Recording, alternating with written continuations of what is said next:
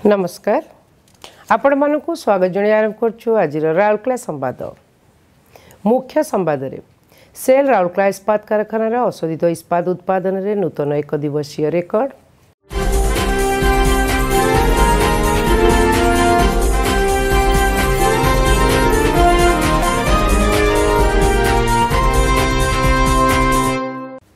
Covid ଉଣେଇଶ ପରିଚାଳନାରେ ସମସ୍ତ ସହଯୋଗ ନିମନ୍ତେ କାରଖାନା ସାମୁଦାୟିକଙ୍କୁ ଆର୍ଏସ୍ପି ସିଇଓଙ୍କ ଉଚ୍ଚ ପ୍ରଶଂସା।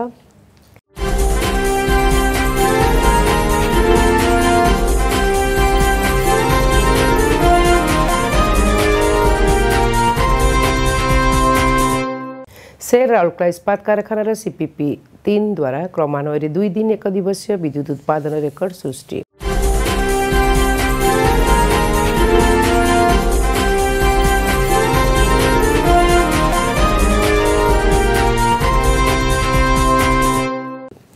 ଏଥର ସମ୍ପୂର୍ଣ୍ଣ ସମ୍ବାଦ ମହାରତ୍ନ କମ୍ପାନୀ ସେଲ୍ ଅଧୀନସ୍ଥ ରାଉରକେଲା ଇସ୍ପାତ କାରଖାନା ଅଶୋଧିତ ଇସ୍ପାତ ଉତ୍ପାଦନରେ ଏକ ନୂତନ କୀର୍ତ୍ତିମାନ ସ୍ଥାପନ କରିଛି ଅକ୍ଟୋବର ଅଠେଇଶ ତାରିଖରେ କାରଖାନା ଏହାର ଷ୍ଟିଲ୍ ମେଲ୍ଟିଂ ସପ୍ ଏକ ଓ ଷ୍ଟିଲ୍ ମେଲ୍ଟିଂ ସପ୍ ଦୁଇରୁ ତେର ହଜାର ତିନିଶହ ଛତିଶ ଟନ୍ ଅଶୋଧିତ ଇସ୍ପାତ ଉତ୍ପାଦନ କରି ଏହି ନୂତନ ରେକର୍ଡ ହାସଲ କରିଛି ଏଥିପୂର୍ବରୁ ଦୁଇହଜାର ଉଣେଇଶ ଜାନୁଆରୀ ତିନି ତାରିଖରେ ତେର ହଜାର ଶହେ ସଡ଼ଚାଳିଶ ଟନ୍ ଅଶୋଧିତ ଇସ୍ପାତ ଉତ୍ପାଦନ କାରଖାନାର ସର୍ବକାଳୀନ ଶ୍ରେଷ୍ଠ ପ୍ରଦର୍ଶନ ରହିଥିଲା। ଷ୍ଟିଲ୍ ମେଲ୍ଟିଂ ସପ୍ ଦୁଇ ବିଭାଗ ଆଲୋଚ୍ୟ ଦିନରେ ସର୍ବକାଳୀନ ଏକ ଦିବସୀୟ ଶ୍ରେଷ୍ଠ। ଏଗାର ହଜାର ଆଠଶହ ଏକସ୍ତରୀ ଟନ୍ ଅଶୋଧିତ ଇସ୍ପାତ ଉତ୍ପାଦନ କରି ଏହି ସଦ୍ୟ ହାସଲ ହୋଇଥିବା ଉଲ୍ଲେଖନୀୟ ସଫଳତାରେ କର୍ଣ୍ଣଧାର ସାଜିଥିଲା। ଏଥିନିମନ୍ତେ ଉକ୍ତ ଦିନ ଷ୍ଟିଲ୍ ମେଲ୍ଟିଂ ସପ୍ ଦୁଇ ବିଭାଗ ସର୍ବକାଳୀନ ଶ୍ରେଷ୍ଠ ଛଅସ୍ତରୀଟି ବ୍ଲୋ ସମ୍ପନ୍ନ କରି ଅନ୍ୟ ଏକ ନୂତନ ରେକର୍ଡ ମଧ୍ୟ ହାସଲ କରିଥିଲା। ସୂଚନାଯୋଗ୍ୟ ଯେ ଏଥିପୂର୍ବରୁ ଦୁଇହଜାର ଉଣେଇଶ ଜାନୁଆରୀ ତିନି ତାରିଖରେ ଷ୍ଟିଲ୍ ମେଲ୍ଟିଂ ସପ୍ ଦୁଇ ବିଭାଗରେ ସର୍ବାଧିକ ପଞ୍ଚସ୍ତରୀଟି ହିଟ୍ ଟ୍ୟାପିଂର ରେକର୍ଡ ରହିଥିଲା ଆର୍ଏସ୍ପିର ସିଇଓ ଶ୍ରୀ ଦୀପକ ଚଟରାଜ ଅକ୍ଟୋବର ଅତିଶ ତାରିଖ ପୂର୍ବାହ୍ନରେ ଷ୍ଟିଲ୍ ମେଲ୍ଟିଂ ସପ୍ ଦୁଇ ଗସ୍ତ କରି ସାମୁଦାୟିକଙ୍କୁ ଅଭିନନ୍ଦନ ଜଣାଇଥିଲେ। ତାଙ୍କ ସହିତ କାର୍ଯ୍ୟ ବିଭାଗର ନିର୍ବାହୀ ନିର୍ଦ୍ଦେଶକ ଶ୍ରୀ ପି କେ ଦାସ କାର୍ମିକ ପ୍ରଶାସନ ବିଭାଗର ନିର୍ବାହୀ ନିର୍ଦ୍ଦେଶକ ଶ୍ରୀ ରାଜବୀର ସିଂ ସାମଗ୍ରୀ ପରିଚାଳନା ବିଭାଗର ନିର୍ବାହୀ ନିର୍ଦ୍ଦେଶକ ଶ୍ରୀ ଦିଲ୍ଲୀପ କୁମାର ମହାପାତ୍ର ପ୍ରକଳ୍ପ ବିଭାଗର ନିର୍ବାହୀ ନିର୍ଦ୍ଦେଶକ ଶ୍ରୀ ପଙ୍କଜ କୁମାର ବିତ୍ତ ଓ ଲେଖା ବିଭାଗର ମୁଖ୍ୟ ମହାପ୍ରବନ୍ଧକ ଶ୍ରୀ ପ୍ରବୀଣ ନିଗମ ଏବଂ ଆର୍ଏସ୍ପିର ଅନ୍ୟ ବରିଷ୍ଠ ଅଧିକାରୀ ଉପସ୍ଥିତ ଥିଲେ। ସିଇଓ ଏବଂ ଅନ୍ୟ ବରିଷ୍ଠ ଅଧିକାରୀମାନେ ଏସ୍ଏମ୍ଏସ୍ ଦୁଇର ମୁଖ୍ୟ ମହାପ୍ରବନ୍ଧକ ଶ୍ରୀ ମାଝୀ ଓ ବିଭାଗୀୟ କର୍ମଚାରୀଙ୍କ ସହିତ ମତ ବିନିମୟ କରିଥିଲେ। କୋଭିଡ୍ ଉଣେଇଶ ମାର୍ଗଦର୍ଶିକାଗୁଡ଼ିକର କଡ଼ାକଡ଼ି ଅନୁପାଳନ ପୂର୍ବକ ଉକ୍ତ କାର୍ଯ୍ୟକ୍ରମ ଅନୁଷ୍ଠିତ ହୋଇଥିଲା। ସାମୁଦାୟିକଙ୍କର ଅଦମ୍ୟ ଉତ୍ସାହ ପ୍ରୟାସର ଉଚ୍ଚ ପ୍ରଶଂସା କରି ଶ୍ରୀ ଚଟ୍ରାଜ କହିଥିଲେ ଯେ ଏହି ପ୍ରଶଂସନୀୟ ସଫଳତା ଆର୍ଏସ୍ପି ସାମୁଦାୟିକଙ୍କର ଉତ୍କର୍ଷତା ହାସଲ ନିମନ୍ତେ ଇଚ୍ଛାଶକ୍ତି ଓ ଦଳଗତ ଭାବନାକୁ ଦର୍ଶାଉଛି। ଶ୍ରୀ ଦାସ କର୍ମଚାରୀମାନଙ୍କୁ ଅଧିକ ପ୍ରଚେଷ୍ଟା ଜାରି ରଖି ଧାର୍ଯ୍ୟ ଲକ୍ଷ୍ୟ ହାସଲ କରିବା ପାଇଁ ସମସ୍ତ ପ୍ରୟାସ କରିବା ନିମନ୍ତେ ଆହ୍ୱାନ ଜଣାଇଥିଲେ। ପ୍ରତ୍ୟୁତ୍ତରରେ ବିଭାଗୀୟ ସାମୁଦାୟିକ ସେମାନଙ୍କର ଆକାଂକ୍ଷାକୁ ରୂପାନ୍ତରିତ କରିବା ନିମନ୍ତେ ସବୁମତେ ପ୍ରୟାସ କରିବା ନିମନ୍ତେ ବରିଷ୍ଠ ଅଧିକାରୀମାନଙ୍କୁ ପ୍ରତିଶ୍ରୁତି ଦେଇଥିଲେ।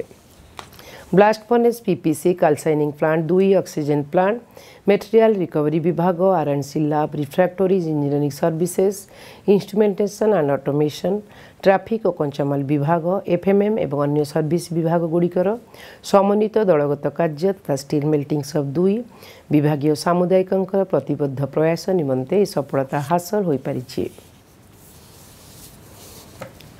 ଭର୍ଚୁଆଲ ମାଧ୍ୟମରେ ଅକ୍ଟୋବର ଅଣତିରିଶ ତାରିଖରେ ଅନୁଷ୍ଠିତ ଗଣଯୋଗାଯୋଗ ଅଧିବେଶନରେ ଉଦ୍ବୋଧନ ଦେଇ ସିଇଓ ଶ୍ରୀ ଦୀପକ ଚଟରାଜ କୋଭିଡ୍ ଉଣେଇଶର ଫଳପ୍ରଦ ପରିଚାଳନାରେ ସମସ୍ତ ସହଯୋଗ ନିମନ୍ତେ ଆର୍ଏସ୍ପି ସାମୁଦାୟିକଙ୍କ ଉଚ୍ଚ ପ୍ରଶଂସା କରିଥିଲେ ଉକ୍ତ ଅଧିବେଶନରେ କାର୍ଯ୍ୟ ବିଭାଗର ନିର୍ବାହୀ ନିର୍ଦ୍ଦେଶକ ଶ୍ରୀ ପି କେ ଦାସ କାର୍ମିକ ପ୍ରଶାସନ ବିଭାଗର ନିର୍ବାହୀ ନିର୍ଦ୍ଦେଶକ ଶ୍ରୀ ରାଜବୀର ସିଂ ପ୍ରକଳ୍ପ ବିଭାଗର ନିର୍ବାହୀ ନିର୍ଦ୍ଦେଶକ ଶ୍ରୀ ପଙ୍କଜ କୁମାର ଅର୍ଥ ବିଭାଗର ସିଜିଏମ୍ ଶ୍ରୀ ପ୍ରବୀଣ ନିଗମ ଏବଂ ପ୍ରାୟ ଶହେ ଜଣ ଅଧିକାରୀ ଓ କର୍ମଚାରୀ ମଧ୍ୟ ଯୋଗ ଦେଇଥିଲେ।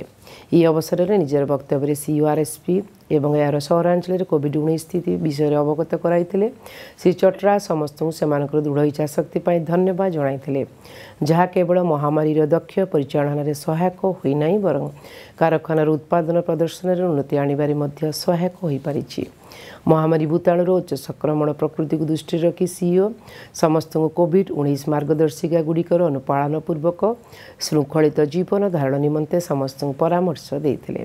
ସିଇଓ ମଧ୍ୟ ଆର୍ଏସ୍ପି ଦ୍ୱାରା ଗ୍ରହଣ କରାଯାଇଥିବା ବିବିଧ ପଦକ୍ଷେପ ଯଥା ଇସ୍ପା ଜେନେରାଲ ହସ୍ପିଟାଲରେ ପ୍ଲାଜମା ବ୍ୟାଙ୍କ ଏବଂ ଦିବରାତ୍ର କୋଭିଡ୍ କଣ୍ଟ୍ରୋଲ ରୁମ୍ ସ୍ଥାପନା ଉପରେ ଆଲୋକପାତ କରିଥିଲେ।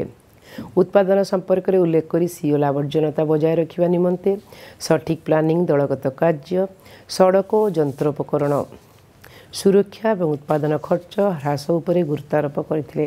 ଏହି କାର୍ଯ୍ୟକ୍ରମ ଅବସରରେ ପ୍ରଦର୍ଶିତ ଲୋକ ସମ୍ପର୍କ ବିଭାଗ ଦ୍ୱାରା ପ୍ରସ୍ତୁତ ବୃତ୍ତଚିତ୍ର ୱିଶାଲ ଓଭରକମ୍ର ସିଓ ଉଚ୍ଚ ପ୍ରଶଂସା କରିଥିଲେ।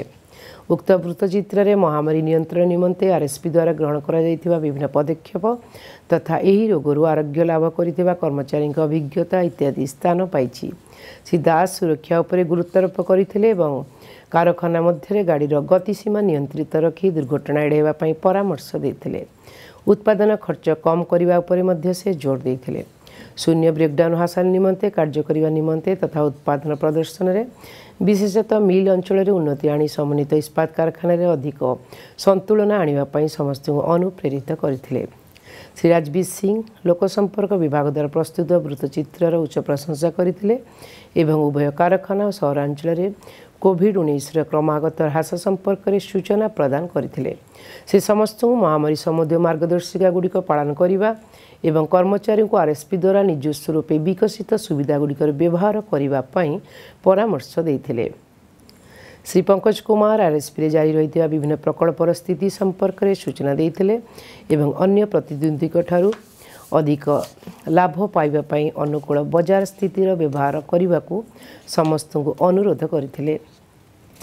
ପ୍ରାରମ୍ଭରେ ଏଚ୍ଆର୍ଡି ବିଭାଗର ଜିଏମ୍ ସୁଶ୍ରୀ ରାଜଶ୍ରୀ ବାନାର୍ଜୀ ସ୍ୱାଗତ ଅଭିଭାଷଣ ପ୍ରଦାନ କରିଥିଲେ। ଏହି ଅବସରରେ ଏକ ମତ ବିନିମୟ ଅଧିବେଶନ ମଧ୍ୟ ଅନୁଷ୍ଠିତ ହୋଇଥିଲା। ଏଚ୍ଆର୍ଡିସି ବିଭାଗର ସିନିୟର ଇନ୍ଷ୍ଟ୍ରକ୍ଟର ସୁଶ୍ରୀ ରାଜଲକ୍ଷ୍ମୀ ଆଚାର୍ଯ୍ୟ ଅଧିବେଶନକୁ ସଂଯୋଜନ କରିବା ସହିତ ଧନ୍ୟବାଦ ଅର୍ପଣ କରିଥିଲେ। ସେଲ୍ ରାଉରକେଲା ଇସ୍ପାତ କାରଖାନାର କ୍ୟାପ୍ଟିଭ୍ ପାୱାର ପ୍ଲାଣ୍ଟ ତିନି ସିପିପି ତିନି କ୍ରମାନ୍ୱୟରେ ଦୁଇ ଦିନ ଧରି ଏକ ଦିବସୀୟ ବିଦ୍ୟୁତ୍ ଉତ୍ପାଦନରେ ଦୁଇଟି ସଦ୍ୟତମ ନୂତନ ରେକର୍ଡ ସୃଷ୍ଟି କରିଛି।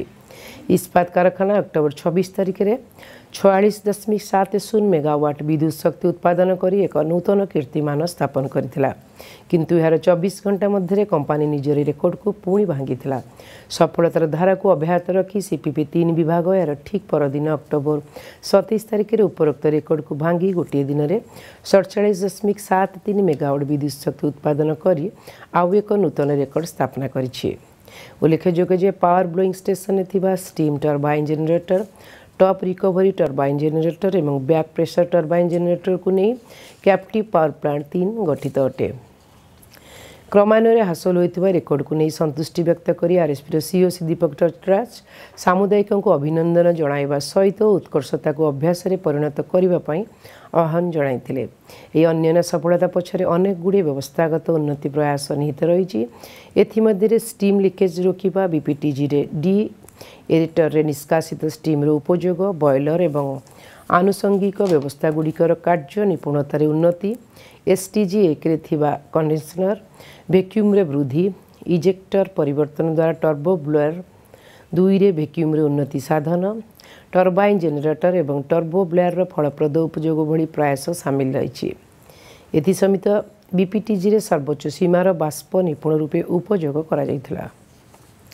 କୋଭିଡ୍ ଉଣେଇଶ ମହାମାରୀ ମଧ୍ୟରେ ରେକର୍ଡ ଶକ୍ତି ଉତ୍ପାଦନ ବ୍ଲାଷ୍ଟ ଫର୍ନେସ୍ ପାଞ୍ଚକୁ ଉତ୍ତପ୍ତ ଧାତୁ ଉତ୍ପାଦନ ନିମନ୍ତେ ବର୍ଗ ସେଣ୍ଟିମିଟର ପ୍ରତି ଚାରି ଦଶମିକ ଏକ ଶୂନ କେଜି ଚାପଯୁକ୍ତ ଆବଶ୍ୟକୀୟ ତିନି ଲକ୍ଷ କୋଡ଼ିଏ ହଜାର ଘନମିଟର କୋଲ୍ଡ ବ୍ଲାଷ୍ଟ ନିରବିଚ୍ଛିନ୍ନ ରୂପେ ଯୋଗାଣ ଅବ୍ୟାହତ ରଖିବା ମଧ୍ୟରେ ହାସଲ ହୋଇଥିବା ପରିପ୍ରେକ୍ଷୀରେ ଏହା ଏକ ଅନ୍ୟାନ୍ୟ ସଫଳତା ଅଟେ সিপিপি তিন বিভাগর এই রেকর্ড উৎপাদন শক্তি পরিচালনা বিভাগ blast furnace coke dry and cooling plant CDCP এবং ইনস্ট্রুমেন্টেসন তথা অন্যান্য সহায়ক ইউনিটর সামগ্রিক সহযোগ এবং প্রয়াস যোগ সম্ভবপর হয়েপারিছে আজপাই সংবাদ প্রসারণ শেষ করছু নমস্কার